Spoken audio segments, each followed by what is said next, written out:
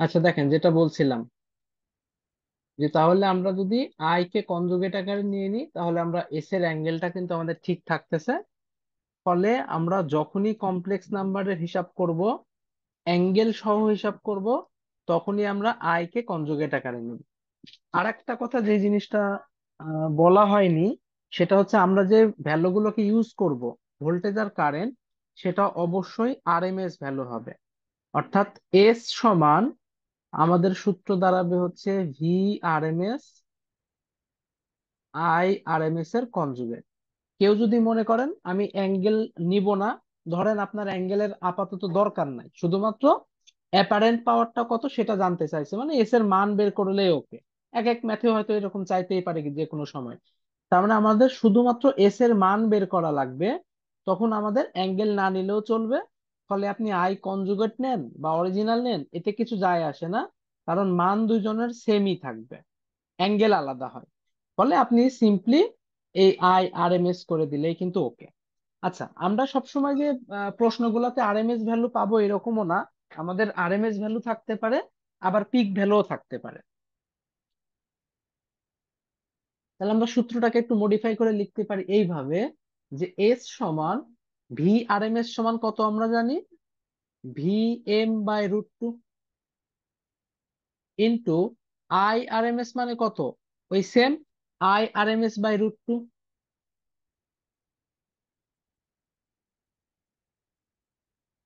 by I M by root two sorry I M by root two ফলে আমরা এই যে রুট টু আর রুট টু মিলে কত হয়ে যায়? টু মানে হাফ ভি এম আই তার কনজুগেট এটা হচ্ছে এস এখন আমি যদি সেম লজিক এস এর মান বের করতে চাই, তাহলে কত হবে? হাফ ভি এম আই বইগুলাতে কি করে? এটা মোটামুটি কিন্তু সবারই জানা যে আমরা ওই যে ভেক্টরিক্যাল জিনিসগুলাকে একটু ইতালিক বা বোল্ড আকারে দেখাই। তো বইগুলাতে দেখা যায় যে একটু বোল্ড করে দেয়, কারণ তো টাইপিং এর জিনিস। দেখবেন যে কমপ্লেক্স ফর্ম গুলাকে একটু বোল্ড বোল্ড করে দেখানো আছে। আর নর্মালি যে মান ফর্মগুলো নর্মাল আকারে দেওয়া থাকে। আমরা যারা ম্যাথ করি অথবা বিভিন্ন কোশ্চেন ব্যাংক ট্যাঙ্ক করি, সেই ক্ষেত্রে আর এই ঝামেলা টামেলা করে না, সব একই আকারে দিয়ে দেয়। মানে কোথাও আপনি দেখবেন যে হয় কনজুগেট দিচ্ছে, কোথাও দিচ্ছে না। আপনি কিন্তু কনফিউজড হয়ে যাবেন যে আসলে কখন নেব কখন নেব। এরকম প্রশ্ন অনেকে করেও যে কখন এটা করব, কখন এটা করব। সহজ কথা আপনি যখন অ্যাঙ্গেল সহ হিসাব করবেন তখন এই সূত্র। যখন অ্যাঙ্গেল বাদে হিসাব করবেন তখন এই সূত্র।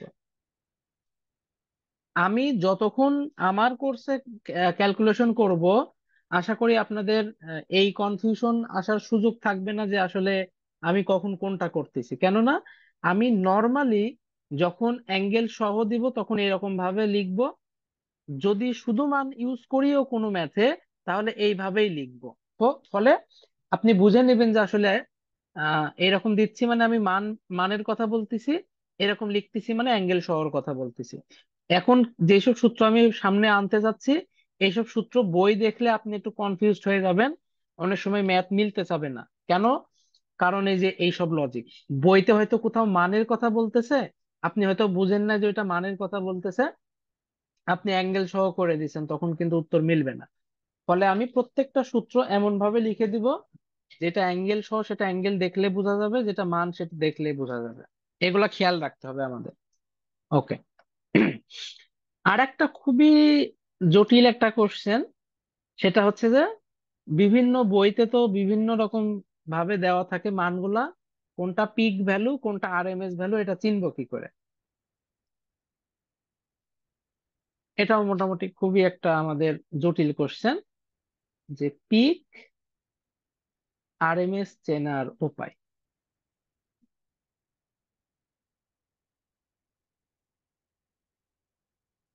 আচ্ছা যেগুলা নিয়ে একটু কন্ট্রোভার্সি আছে, অথবা বলা যায় যে রাইটার ভেদে, একটু সহনশীলতা আছে, যে যার মতো ইউজ করে, সেটাই আগে শুরু করতেছি। ধরেন, কোনো বইতে বা কোনো ম্যাথে এখন প্রশ্ন দেখে তো আর মানে কোথায় আমি যখন ম্যাথ করতে যাব তখন বুঝতেছি ওকে যে এটা অমুক রাইটারের বই। কিন্তু আপনি পরীক্ষার হলে প্রশ্ন দেখে আসলে চেনার উপায় থাকে। দেখা যায় যে আপনি যদি আট দশটা পরীক্ষা দিয়ে ফেলেন, আপনার একটা আইডিয়া চলে আসবে যদি স্যার ওই বইয়ের সার্কিট হুবহু তুলে দেয়। কারণ এক এক বইয়ের সার্কিট প্যাটার্ন এক এক রকম। হুবহু দেখা যাচ্ছে যে ওই কপি করে পেস্ট করে যদি দেয় তাহলে দেখে হয়তো চিনে ফেলবে। কিন্তু স্যার যদি নিজে আবার ড্র মানে স্যার তো আর ড্র করবে না যে আর কি এডিটর বা সামথিং ড্র করে দেয়, তাহলে আসলে বোঝা মুশকিল যে এটা কোন রাইটারের বই। তো এত কিছু আমাদের দরকার নাই। প্রথম ক্যাটাগরি আমরা এই রকম ফরম্যাটের মান দেখতে পাবো। এটা তো শেখাইছি যে এটা ফেজর ফর্ম এটা আসলে অ্যামপ্লিটিউড মিন করে, এটা আসলে অ্যাঙ্গেল মিন করে। তবে কিছু কিছু রাইটার এই ফরম্যাটকে আরএমএস ধরে, কিছু কিছু রাইটার এই ফরম্যাটকে পিক ভ্যালু ধরে।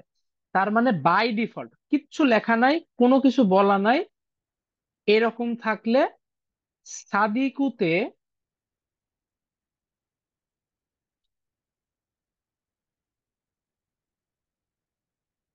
এটাকে পিক ভ্যালু হিসাবে কাউন্ট করে। মানে বিশ ভোল্ট এটা আসলে পিক ভ্যালু এই সেম জিনিসকে আপনার হচ্ছে বয়েলেস্টেড অথবা থেরেজাতে আরএমএস ধরে নেয়। এখন আমরা কোনটা ধরবো? টোটালি আপনার ইচ্ছা যে আপনি কোনটা ধরবেন, তবে সব থেকে ভালো আপনি যেটা ধরবেন সেটা বলে দিবেন যে আমি এটা ধরলাম। আমার পার্সোনাল ওপিনিয়ন সার্কিটগুলোর জন্য সাদিকু মানে most of the time follow করা হয় বুয়েটে। ফলে এই রকম ফরম্যাট থাকলেই আপনি সেটাকে পিক ধরবেন। শুধু ধরবেনই না মানে আপনার ভিতরেই রাখবেন না যে আমি পিক ধরে ম্যাথ করে শেষ করে দিলাম। আপনি প্রথম লাইনে অথবা যখন অ্যান্সার করা শুরু করবেন, তখন কোনো না কোনো একটা জায়গায় লিখে দিবেন লেট এত পিক ফার্স্ট ব্র্যাকেটে লিখেন, যাই হোক যে কোনো একটা জায়গায় লিখে দিলেই হবে। কারোর যদি ইচ্ছা হয়, ভাই, আমি আর আরএমএস ধরতে চাই। কোনো সমস্যা নেই, আপনি আর আরএমএস ধরেন, লিখে দেন যে আপনি আর আরএমএস ধরতেছেন। এটা হচ্ছে মোটামুটি একটু ঝামেলার নিয়ম। কারণ একই রকম দেখতে এক এক বই এক এক ভাবে ধরতেছে। যাই হোক, দুই নাম্বার কেস। এই কেসগুলো মোটামুটি একটু সহজ। কেন সহজ? এই কেসে প্রশ্নে বলেই দিবে যে এত ডিগ্রি আরএমএস পিক নর্মালি আসলে বলে না, তো এটা আমাদের আরএমএস তাহলে এখানে আর কোনো প্রশ্নের উপায় নাই বলেই দিছে। তিন নাম্বারে আমাকে হয়তো বলে দিবে টেন কস দুইশো সাতাত্তরটি প্লাস তিরিশ ডিগ্রি এই কেসও খুব সহজ। কেন সহজ? কারণ কজের সাথে যেটা থাকে, সেটা অবশ্যই কি মিন করে? পিক ভ্যালু মিন করে। ফলে এখানে আর কোনো চিন্তা করার কিছু নাই। আচ্ছা এটা তো ছোট হাতে লিখে দিবে। ফলে ভি সমান কত লিখতে হবে? দশ। অ্যাঙ্গেল নেব তিরিশ ডিগ্রি। যেটা অবশ্যই পিক ভ্যালু নির্দেশ করবে। এখানে আসলে ধরাধরি বা অন্য কোনো কিছুর উপায় নাই। কারণ এটা দেখেই বোঝা যাচ্ছে এটা পিক ভ্যালু তো এখানে আর কোনো চিন্তা ভাবনার কিছু নাই। আর একটা কেস এই কেসগুলোতে আসলে আপনাকে ধরেন বিভিন্ন সার্কিট দিল, এরকম একটা সার্কিট দিল। এই চিত্র দেখতে কেমন ওই দেখে আমার দরকার নাই। আপনাকে এইখানে ধরেন লিখে দিল দুইশো বিশ ভোল্টেজ বা পঞ্চাশ ভোল্টেজ বা একশো দশ ভোল্টেজ অথবা এইখানে বলে দিল ফাইভ অ্যাম্পিয়ার বা টেন অ্যাম্পিয়ার বা যে কোনো কিছু অ্যাম্পিয়ার এটা থাকলেই বুঝবেন যে এটা আর আরএমএস ভ্যালু বা কোথাও লেখা আছে লাইন ভোল্টেজ কোথাও লেখা আছে যে লোড কারেন্ট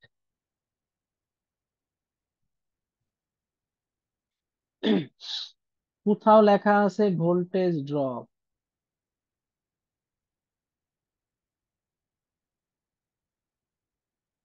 আমি যেহেতু এক্সাম্পল দিচ্ছি এক্স ওয়াই দিলে আবার যাতে ঝামেলা না হয়, দশ ভোল্টেজ। মানে যখনই আপনাকে ভ্যালু দিয়ে ভোল্টেজ এরকম মিন করবে line voltage phase voltage phase voltage লেখা থাকতে পারে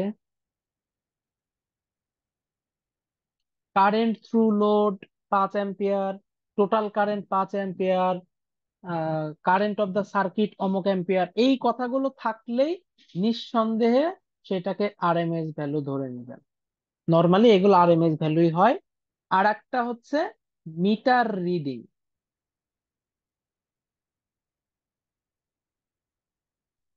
আরএমএস ভ্যালু বলে দিক অথবা আপনাকে লিখতে বলুক, বের করতে বলুক ধরেন একটা সার্কিট দিয়ে আপনাকে বলতেছে মিটার রিডিং নির্ণয় করো বা what is the meter reading বা সামথিং এরকম বলে দিল বুঝে নেবেন যে সেটা আর আরএমএস ভ্যালু অথবা মিটার দিয়ে বলতেছে যে এই মিটার লাইন ভোল্টেজ রিড করল পঞ্চাশ ভোল্টেজ তাহলে বুঝতে হবে পঞ্চাশ ভোল্টেজ হচ্ছে আর আরএমএস ভ্যালু কেন? কারণ মিটার অলওয়েজ আর আরএমএস ভ্যালু রিড করে। মিটারের ভোল্টেজ যা হবে সেটাও আরএমএস মিটারের কারেন্ট যেটা সেটাও আরএমএস কনফিউশনের জায়গা থাকতে পারে একটা।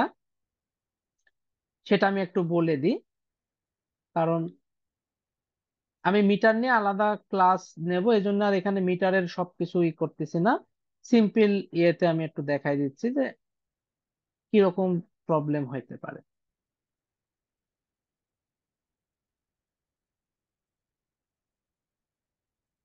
এটা একটা ওয়াট মিটার দেওয়া আছে। এখন আপনি শিখছেন যে মিটার সবসময় কি করে? আর আরএমএস ভ্যালু রিড করে। এখানে দিয়ে দিছি দুইশো বিশ দশ তিন এখন এই ভ্যালুটা আরএমএস নাকি পিক ভ্যালু বলেন তো। আরএমএস না দুইটা জিনিস। আমি বলতেছি মিটার সবসময় আর আরএমএস ভ্যালু রিড করে। মিটার এইটা কি রিড করছে নাকি এটা সোর্সের ভোল্টেজ এই সার্কিটে কোথাও আমি দেখাইছি যে মিটার কতটুকু রিড করছে? কথা কি বুঝতে পারছেন আমার? মিটার এই যে এই দুই মাথার ভোল্টেজ রিড করবে এর ভিতরে এই যে কারেন্ট রিড করবে এটা তো সোর্সের ভোল্টেজ মানে এক জায়গায় ধরেন পঞ্চাশ মন আচ্ছা পঞ্চাশ মন না ধরেন আপনি বাজারে গেছেন দেখতে পাইছেন এখানে ধান রাখা আছে। এবার এই ধান আমি আমার মিটারে তুলবো। যতক্ষণ এইটা আমার এর উপরে না দিচ্ছি এইখানে যেটা আছে সেটা কি আমি জানি কতটুকু? আমার মিটার ধরেন কথার কথা পঞ্চাশ কেজি মাপতে পারে। তাই কি আমি বলব যে এটা পঞ্চাশ কেজি? আমি একে এর উপর না তোলা পর্যন্ত কীভাবে জানব যে এটা কতটুকু? সেম ভাবে এটা তো সোর্সের ভোল্টেজ মিটার মাপতেছে এটাও ঠিক, কিন্তু এইটাকে কি মাপতেছে? মানে এই ভ্যালুটা কি মাপতেছে? কি মাপতেছে সেটা তো আমি জানি না। এটা তো সোর্সের ভ্যালু আর আমি শুরুতেই বললাম যে এই ভ্যালুটা যদি এরকম থাকে, সেটাকে আপনি পিকও ধরতে পারেন আর এম এস ও ধরতে পারেন। যেই স্টুডেন্টরা এটাকে আর এম এস ধরবে তারা অ্যান্সার করবে মিটারের রিডিং হচ্ছে দুইশো বিশ ভোল্টেজ কেন? কারণ এই দুই মাথার ভোল্টেজ দুইশো বিশ আর এম এস মিটারও তাই মিন করে অ্যান্সারও দুইশো বিশ। কিন্তু যারা একে পিক ধরে নিবে তাদের কাছে মিটার রিডিং কত হবে? আরএমএস হবে। ফলে দুইশো বিশ বাই রুট টু করতে হবে। এটা কি ক্লিয়ার প্রশ্নের অ্যান্সার আপনি দেখার সাথে সাথে বলে দিতে পারতেন দুইশো বিশ ভোল্ট কীভাবে? যদি আমি বলতাম যে মিটার এই যে রিড করতেছে এইটা দুইশো বিশ ভোল্টেজ কথা কি বুঝতে পারতেছেন? এইটা যদি এইভাবে মার্ক করতাম আপনার এত দেখা দেখি নাই বলে দিতেন যে এটা আরএমএস ভ্যালু আমার মনে হয় পিক ভ্যালু আর আরএমএস ভ্যালু চেনার উপায় মোটামুটি যা দেখাইছি এতটুকু বুঝলে এনাফ এইটুকু কি সবাই ক্লিয়ার ওকে তাহলে আমরা আবার আমাদের সে সূত্রের ইয়েতে ফেরত যাই। কতটুকু দেখলাম? এস এর সিম্পল ফরম্যাট দেখছি যে এস সমান হাফ ভিএম আইএম কনজুগেট অথবা মান আকারে লিখলে হাফ ভিএম আই এবার আমরা বিভিন্ন লোডের বিভিন্ন কেস দেখব। সেটা কেমন? আমরা তো সবই লোডের জন্যই বের করতেছি। এইটা ধরেন আমাদের লোড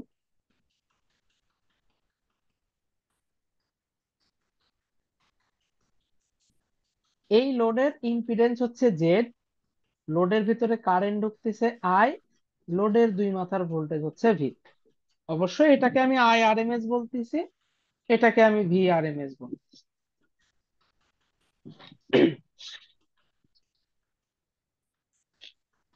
তাহলে এস সমান আমরা শিখলাম কত? হাফ।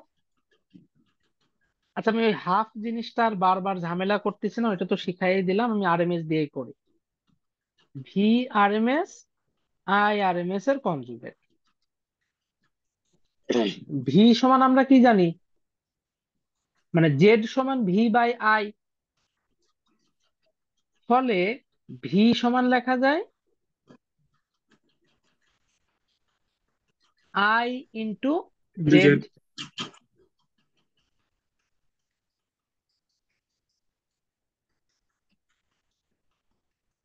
কমপ্লেক্স নাম্বারের একটা প্রপার্টি হচ্ছে, আমি যদি কোনো একটা ভ্যালু পি আর এই পি এর কনজুগেট এই দুইটা গুণ করি, তাহলে আমার কেস হবে এইরকম পি এর স্কোয়ার তাই নাকি? এই যে এখান থেকে কিন্তু ভুল হওয়ার চান্স শুরু হবে। মানে একটা আছে বিশ অ্যাঙ্গেল তিরিশ ডিগ্রি, আর একটা আছে বিশ অ্যাঙ্গেল মাইনাস তিরিশ ডিগ্রি। এই দুইটা যদি গুণ করি গুণ ফল হবে বিশ আর বিশ গুণ করলে যা হয় অ্যাঙ্গেল হবে তিরিশ থেকে মানে এক কথায় কনজুগেট যেহেতু করে ফেলছি তাহলে তিরিশ থেকে তিরিশ বিয়োগ করলে কত হয়? Zero degree. তো জিরো ডিগ্রি লিখলেও চলে না লিখলেও চলে ফলে আমি এই দুইটার গুণফল একবারে বলে দিতে পারি বিশ স্কোয়ার। ফলে যে কোনো জিনিসের মান এবং তার কনজুগেট গুণ করা মানে হচ্ছে সেই মানের স্কোয়ার করে দেওয়া কোনো অ্যাঙ্গেল থাকবে না। তাহলে যে I R I R conjugate মানে এটা তো আই আর কনজুগেট করলে কত আসে? আই আর এর স্কোয়ার জেড তো বইতে থাকে হচ্ছে এরকম আই স্কোয়ার জেড অনেকেই ভাবে আই স্কোয়ার মানে হচ্ছে আই এর অ্যাঙ্গেল সহ স্কোয়ার অ্যাঙ্গেল সহ স্কোয়ার করে দিয়ে ক্যালকুলেশন করে অ্যান্সার মিলে না। তাহলে কি বুঝতে পারতেছেন? এখানে অ্যাকচুয়ালি আই এর অ্যাঙ্গেল সহ স্কোয়ার না। আই এর যেই মান থাকবে ধরেন আই আর দেওয়া আছে এরকম যে আই আর দেওয়া আছে বিশ অ্যাঙ্গেল মাইনাস দশ ডিগ্রি এখানে এই দশ ডিগ্রি টোটালি বাদ। কেন? কারণ এখানে শুধু মানের স্কোয়ার হবে। তাহলে কি করতে হবে? শুধু বিশের স্কোয়ার নিতে হবে। এই কথাটা বুঝতে পারছেন কিনা? বুঝলাম না ভাই। আচ্ছা, এই কথাটা বুঝতে পারছেন কিনা? যেখানে শুধু মানের স্কোয়ার করতে হবে? ভাই। এটা খেয়াল রাখবেন। আরেকটা জিনিস খেয়াল রাখেন, সেটা হচ্ছে এই সূত্রে দেখেন আয়ের সাথে কনজুগেট আছে বাট এই সূত্রে কিন্তু কোথাও কোনো কনজুগেট নাই। এটা একটা স্পেশাল কেস যখন আমরা এই সূত্র ইউজ করব, তখন কিন্তু কোনো কনজুগেট থাকবে না। এই যে বাই ডিফল্ট কনজুগেটটা উঠে গেছে। আর একটা সূত্র আছে, সেখানে কনজুগেট আবার থাকবে। সেটাও দেখি। ঠিক এইটারই আর একটা ভার্সন সেটা হচ্ছে এস সমান V R M S I R M S এর কনজুগেট এখন আই সমান কত? ভি বাই জেড তাহলে আই সমান লেখা যায় ভি বাই জেড তার মাথার উপরে কনজুগেট কারণ যে আই এর জাস্ট মান লিখলাম, মাথার উপর একটা কনজুগেট আছে যেহেতু দুইজনই আছে ফলে কনজুগেট দুইজনই পাবে।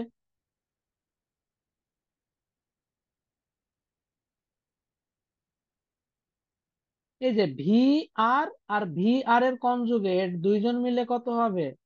ভি আর এর স্কোয়ার কিছুক্ষণ আগে শেখালাম। সেম জিনিস, আর তার মান গুণ করলে হয় জাস্ট মানের স্কোয়ার অ্যাঙ্গেল ট্যাঙ্গেল কিন্তু আর কিছু থাকবে না। কিন্তু এইখানে খেয়াল করে দেখেন জেড এর মাথার উপরে একটা কনজুগেট আছে। ফলে এই সূত্র দিয়ে যখন আমরা এস বের করব তখন কিন্তু জেড এর মাথার উপর একটা কনজুগেট নিতে হবে। এটা কি ক্লিয়ার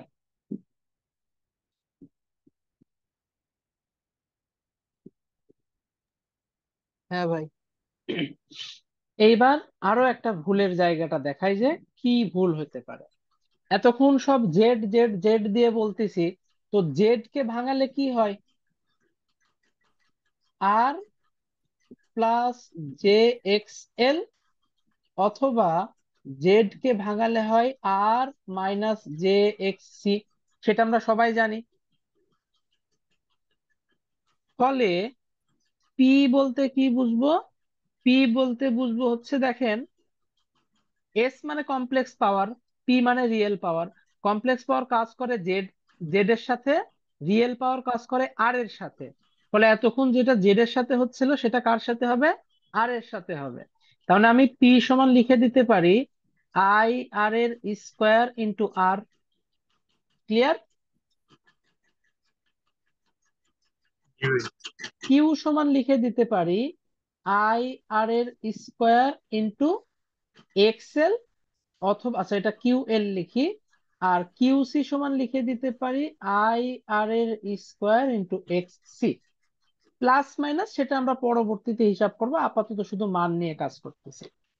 তো এটা যে যেমন লিখতে পারি, তেমন অনেকেই কি করে, বলে এই লজিক যেহেতু কাজ করবে, ফলে এই লজিকও তো কাজ করবে। পি সমান ভি স্কোয়ার বাই আর আমরা ওই যে লাইটের ক্ষেত্রে শিখে আসছিলাম বাল্বে যখন করছিলাম। এখন বলেন তো, এইটা কি লিখতে পারব?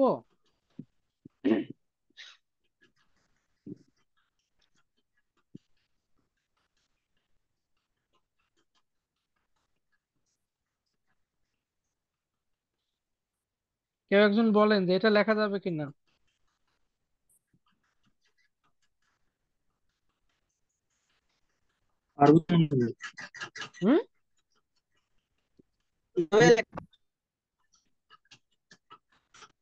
কথা ক্লিয়ার না আরেকবার বলেন। বাইরে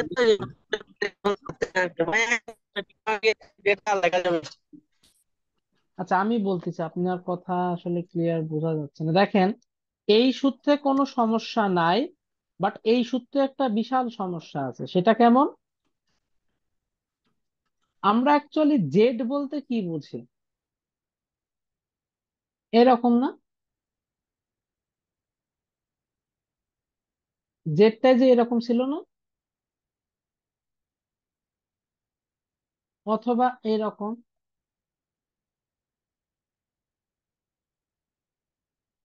ভি ছিল কোনটা? এটা না?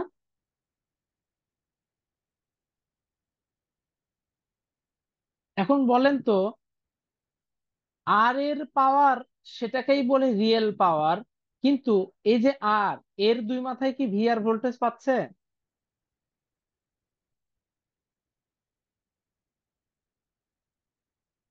কথা কি বুঝতে পারছেন আমার? ভি আর তো দুইজনের মাথার ভোল্টেজ হচ্ছে ভিআর তো এক একজন কি আবার ভোল্টেজ ডিভাইডার রুল হয়ে কম বেশি হয়ে যাবে না ভোল্টেজ? ফলে এই সিচুয়েশনে আমরা কখনোই এরকম সূত্র ব্যবহার করব না। এটা কিন্তু অনেকেই পড়ে থাকে, সবাই ভাবে যে একই তো কথা ভি স্কোয়ার বাই আর এটা তো শিখে আসছিলাম রিয়েল পাওয়ার এটা কখনোই করা যাবে না। আপনি ম্যাক্সিমাম কারেন্টের সূত্র করতে পারেন কেন? কারণ আর এর ভিতরে যেই কারেন্ট ঢুকবে এল এর ভিতরে সেম কারেন্ট ঢুকবে। আর এর ভিতরে যেই কারেন্ট সি এর ভিতরে সেম কারেন্ট এই কারণে এই সূত্রটা অ্যাপ্লাই করা যায়, কিন্তু কখনোই এই সূত্র অ্যাপ্লাই করা যায় না। তবে হ্যাঁ এই ফরম্যাটের সূত্র অ্যাপ্লাই করা যায়। কীভাবে? আগে এইটার ভোল্টেজ দুই মাথার ভোল্টেজ বের করে নিতে হবে, তারপর। তো এত কষ্ট করার দরকার নাই। ফলে আমরা এই সূত্র ইউজ করব। তবে আমি বলব এইসবও করব না। আমরা এস এর সূত্র ইউজ করব। এস এর সূত্র ইউজ করলে এমনিতেই আমার ক্যালকুলেটরে আলাদা আলাদা মান চলে আসবে। আমার মনে হয় বিষয়টা বুঝতে পারছেন সবাই। আমি ছোট ছোট কিছু পয়েন্ট দিয়ে বলি যে আসলে কি করব অ্যাকচুয়ালি আমরা একটা লোডের ভোল্টেজ পাইছি ভি সমান বিশ অ্যাঙ্গেল দশ ডিগ্রি। লোডের কারেন্ট পাইছি পাঁচ অ্যাঙ্গেল পাঁচ ডিগ্রি। এখন আমরা বের করতে চাই এর অ্যাপারেন্ট পাওয়ার কি? রিয়েল পাওয়ার কি? কমপ্লেক্স সরি রিয়াক্টিভ পাওয়ার কি? কমপ্লেক্স পাওয়ার কি? তাহলে প্রথমে আমরা কমপ্লেক্স পাওয়ার বের করব। এস সমান কত? ভি আই কনজুগেট মানে ভি অ্যাজ ইট ইজ থাকবে। আর কারেন্টকে কি করতে হবে? কনজুগেট করে নিতে হবে। বাকিটুকু আমরা এই অঙ্ক তো ছোটখাটো মুখে মুখেই করা যাবে বাট আমি ক্যালকুলেটরেই করে দেখাই দিচ্ছি যে কীভাবে করব আমরা। কমপ্লেক্স মোডে নিয়ে নিলাম ক্যালকুলেটর আচ্ছা আমরা কনজুগেট কিন্তু ক্যালকুলেটরেও করতে পারি। আমি দুই রকমই দেখাচ্ছি, আগে যেহেতু করে ফেলছি এইভাবে দেখাই। পাঁচ অ্যাঙ্গেল মাইনাস পাঁচ সমান যেটা আসে সেটাকেই তো আমরা এস হিসাবে চিনি, কত? একশো পাঁচ ডিগ্রি।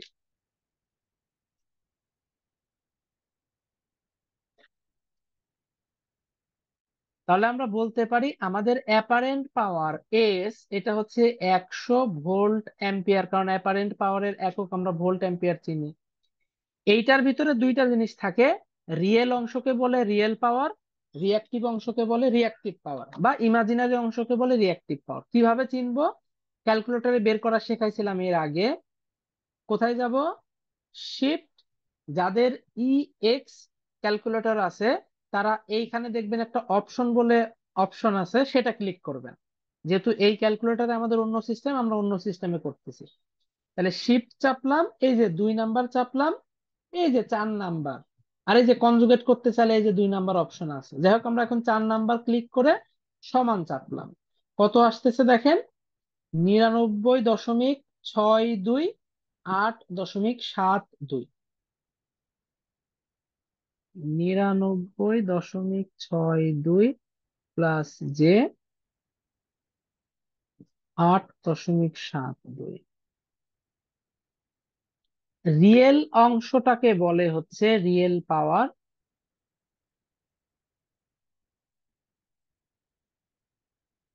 ইমাজিনারি অংশটাকে বলে রিয়াক্টিভ পাওয়ার এইটুকু কি ক্লিয়ার পাওয়ার ফ্যাক্টর কি শিখছিলাম? ভোল্টেজ এবং কারেন্টের মধ্যবর্তী অ্যাঙ্গেলের কোসাইন। তাহলে দেখেন পাওয়ার ফ্যাক্টর কত ভাবে বের করতে পারে, আমি প্রত্যেকটা ভাবেই দেখাই। এক নাম্বার নিয়ম, পাওয়ার ফ্যাক্টর সমান কজ ভোল্টেজের অ্যাঙ্গেল মাইনাস কারেন্টের অ্যাঙ্গেল। সেটা কত? পাঁচ ডিগ্রি। দুই নাম্বার নিয়ম, আমরা এখান থেকে জেড বের করব ভি বাই আই করলে কত আসে দেখেন?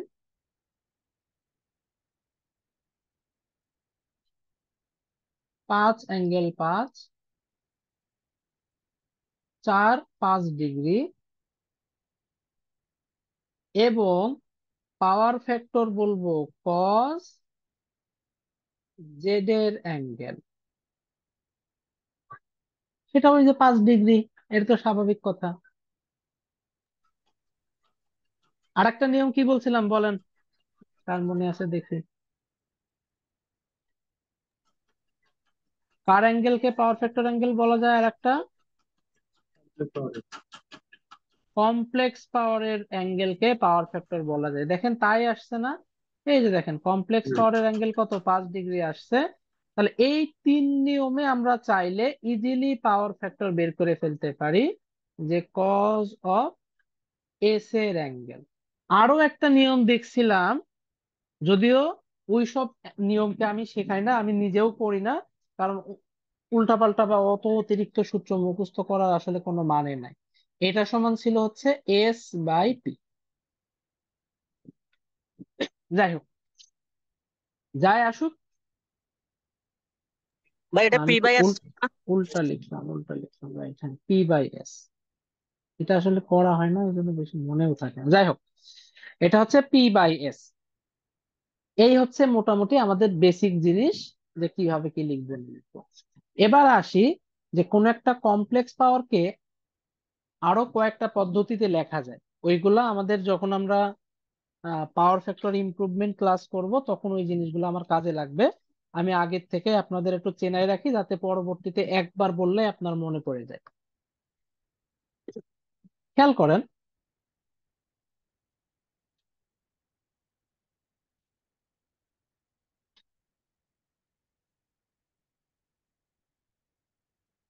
আমরা পাওয়ার ট্রায়াঙ্গেল যদি দেখি, গতদিন দেখছিলাম, এটা আসলে রিয়েল ওয়ার্ল্ড এজন্য রিয়েল পাওয়ার মিন করে, এটা ইমাজিনারি এজন্য রিয়াক্টিভ পাওয়ার মিন করে, আর এটা আমাদের অ্যাপারেন্ট পাওয়ার মিন করে। এদের যে মধ্যবর্তী অ্যাঙ্গেল সেটাকে বলে পাওয়ার ফ্যাক্টর অ্যাঙ্গেল এটাকে বলে পাওয়ার ট্রায়াঙ্গেল আর একটা হচ্ছে ইম্পিডেন্স ট্রায়াঙ্গেল ওইখানে হচ্ছে আমার এই বরাবর থাকে আর এই বরাবর থাকে এক্স আর এই বরাবর থাকে জেড স্বাভাবিক কথা ট্রায়াঙ্গেল উপরে নিচে দুই রকমই হয়, কারণ ওই যে লিডিং ল্যাগিং এর যে একটা কনসেপ্ট আছে। তো আমি ওইটা নিয়ে আপাতত আর আলোচনা করতেছি না, আমি সিম্পল একটা ইয়ে দিয়ে দেখাচ্ছি। এখানে খেয়াল করে দেখেন, এটা কিন্তু ওই যে প্রথম ক্লাসে বলছিলামও, সেটা কত? কস থেটা সমান ভূমি বাই অতিভুজ, যেটা যে কিছুক্ষণ আগে লিখলাম। তাহলে পি সমান কত দেখেন? এস কস থেটা এটা কিন্তু পি বের করার আর একটা সূত্র। আমরা এটা করব না, আমি যেটা বোঝাতে চাচ্ছি সেটা হচ্ছে এস সমান P by cos phi cos phi কে বলে হচ্ছে পাওয়ার ফ্যাক্টর এটা কিন্তু সব মান হ্যাঁ? আমি বারবার হয়তো দেখাচ্ছি না, যখনই এটা আসে তখন এটা আসলে মান পড়ে। ফলে এস এর মানকে আমরা এইভাবে লিখতে পারি যে পি বাই পি এফ তাহলে এস তো একটা কমপ্লেক্স ফর্ম আছে, সেটাকে কীভাবে লিখতে পারি? পি বাই পি সাথে কি অ্যাঙ্গেল দিতে হবে না? লিডিং ও হতে পারে ল্যাগিং ও হতে পারে। একটু খেয়াল করেন, এতক্ষণ পর্যন্ত এস এর অ্যাঙ্গেলটা হয়েছে কি? এস এর অ্যাঙ্গেলটা হয়েছে পাওয়ার ফ্যাক্টর অ্যাঙ্গেল ওই যে পাওয়ার ফ্যাক্টর সমান কজ এস এর অ্যাঙ্গেল তাহলে এস এর অ্যাঙ্গেলটা কি পাওয়ার ফ্যাক্টর অ্যাঙ্গেল না? ফলে আমরা এস সমান লিখতে পারি P by P F plus minus কেন? কারণ পাওয়ার ফ্যাক্টর সমান যদি কস ফাই হয়, এই ফাই সমান কত লেখা যায়? কজ ইনভার্স এটুকু বুঝছেন কিনা? মানে আমাকে যদি কখনো রিয়েল পাওয়ারটা দেওয়া থাকে রিয়াক্ট পাওয়ার ফ্যাক্টর দেওয়া থাকে আমি এইভাবে ইজিলি লিখলেই কমপ্লেক্স পাওয়ার একদম চলে আসবে। কেমন? বলে দিছে বিশ kilowatt at zero point eight power factor আমি লিখব কি? এস সমান বিশ ডিভাইডেড বাই পয়েন্ট এইট আচ্ছা বলে দিবে ল্যাগিং নাকি লিগে লিডিং ল্যাগ বলে দিছে, তাহলে প্লাস নিব। এটা বুঝছেন কিনা বলেন। ভাই।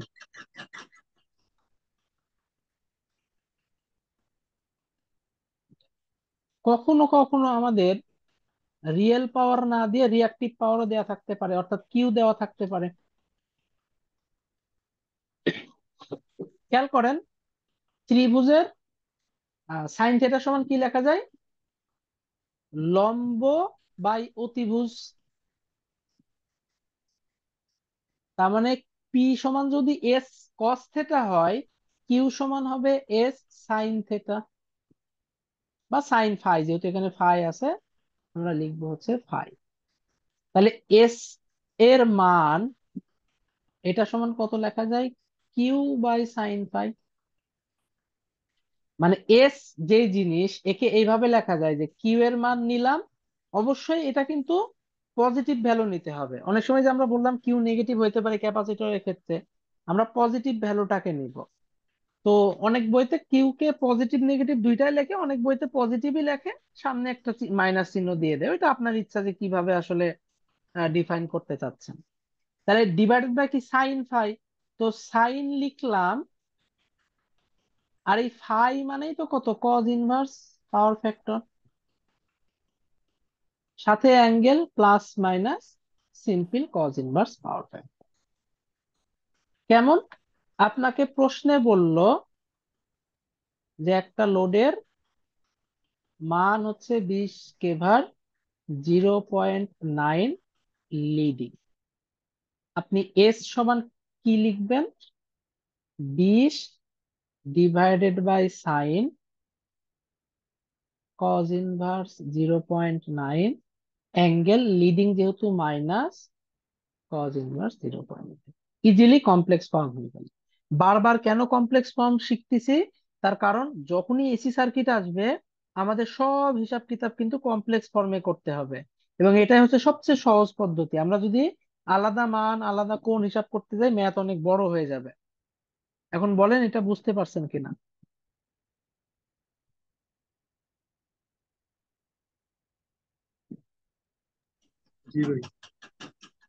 এখন আপনাদের কাজ হচ্ছে আলেকজান্ডার সাদিকুতে এই টাইপের যেসব বেসিক টাইপের ম্যাথ আছে সেগুলা করবেন। নেক্সট ক্লাসে আমি হচ্ছে ম্যাথে মুভ করব। আমার মনে হচ্ছে আপাতত বেসিক মোটামুটি যা দেখাইছি এনাফ এর ফাঁকে ফাঁকে আপনাদের যে কাজ থাকবে সেটা হচ্ছে এই লাস্ট মনে হয় তিনটা না চারটা ক্লাস নিলাম আমরা এসি সার্কিটের বেসিকের উপরে। যতগুলো সূত্র দেখাইছি সবগুলো এক জায়গায় করবেন। আপনার একটা নোট রাখবেন, ওখানে সব সূত্র এক জায়গায় করবেন দেন ম্যাথ করা শুরু করবেন। আর আমি তো ম্যাথ সলভিং শুরু করবোই নেক্সট ক্লাস থেকে কোশ্চেন যখনই করব, সাথে রাখবেন যাতে আপনার হচ্ছে মিলাইতে অথবা দেখতে সুবিধা হয়। আর অবশ্যই আমি যেইগুলা বারবার পয়েন্টে বলতেছি যে এখানে ভুল হয় ভুল হয়, সঠিক জিনিস আপনি যদি লিখতে মানে লেখাটাকে যদি আপনি এইটটি পার্সেন্ট হিসাবে ই করেন, ভুল জিনিস লেখাটা হচ্ছে নাইনটি থেকে নাইনটি ফাইভ পার্সেন্ট মানে কোথায় ভুল হয়, এই জিনিসটা আপনার নোট করতে হবে মাস্ট কারণ সঠিক জিনিস আপনি হয়তো আজকে শিখতেছেন, কালকে নিজে নিজে হয়তো ওই জিনিসটা আবার কাজে লাগাও ফেলতে পারেন। কিন্তু ভুল জিনিস, আপনি দেখা যাবে যে আপনি অনেক কিছু জানেন, কিন্তু ছোট্ট একটা ভুল ধারণা আপনার ভিতরে থেকে গেছে, ওইটাই কিন্তু পরবর্তীতে যায় আপনার বড় বড় মার্ক কেটে দিবে। ফলে ভুল জিনিস আইডেন্টিফাই করাটা খুবই ইম্পর্টেন্ট এই কাজ মানে এই পয়েন্টগুলো আমি যা যা বলে দিচ্ছি, আর এই সবগুলা কিন্তু এমন না যে আমি এই জিনিসগুলো শিখে আপনাদের ই করতেছি এরকম না। আমি শিখে এই সব জায়গায় ভুল করে করে আইডেন্টিফাই করে হচ্ছে আপনাদের বলতেছি। মানে সচরাচর এই জিনিসগুলো আমরা আসলে দেখতে পাই না। কারণ ভুল জিনিস আসলে নর্মালি বইগুলাও এরকম শেখায় না। হয়তো আমরা যেসব জায়গায় ক্লাস করি বা ইয়ে করি ওখানেও এরকম শেখায় না। এগুলো আমি নিজে হয়তো এই ভুলগুলোর ভিতরে ছিলাম, এগুলো আমাকে ঝামেলায় ফেলছে। এই জন্য আমি আইডেন্টিফাই করে করে আপনাদের বলতেছি, কারণ আমি জানি যারা একটু বেসিক নিয়ে পড়তে যায় বা বই ধরে ধরে পড়তে যায়, তারা এই জায়গা, জায়গাগুলোতেই ফেস করে। এই ভুলগুলাই ফেস করে, এইগুলাতেই যায় আটকাবে। কারণ আমি মোটামুটি যাদের সাথে ডিসকাস করছি, কথাবার্তা বলছি, আমার মতো অনেকের সাথে আমি দেখছি যে এই টাইপের ঘটনাগুলাই ঘটে। এই জন্য আমি একটু ক্লাসের ফাঁকে ফাঁকে ওইগুলোর দিকে একটু জোর দিই যে, ভাই, এই জায়গাগুলো মার্ক করে রাখেন, কারণ এইসব জায়গাগুলোতে কিন্তু ভুল হতে পারে। তো ওইগুলা লিখে রাখবেন যে, এটা করা যাবে মানে যা, যাবে সেটা তো লিখবেনই, যে লিখতেছেন সূত্র। আর যেগুলো যাবে না, সেগুলো লিখে রাখবেন যে, এখানে এই কাজ করা যাবে না। কেন যাবে না? এই হচ্ছে লজিক এই কারণে এই কাজ করা যাবে না। আচ্ছা যাই হোক, তাহলে সূত্রের কাজ মোটামুটি আমাদের শেষ। আমরা নেক্সট ক্লাস থেকে ম্যাথ শুরু করব ইনশাল্লাহ আজকের ক্লাসে কারও কোনো কোশ্চেন আছে?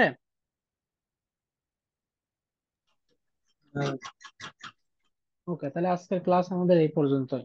আমি ফ্রি হয়ে এ তো ভিডিও দুইটা হয়ে গেছে তো দুই পার্টে আলাদা আলাদা করে আপলোড করে দিচ্ছি।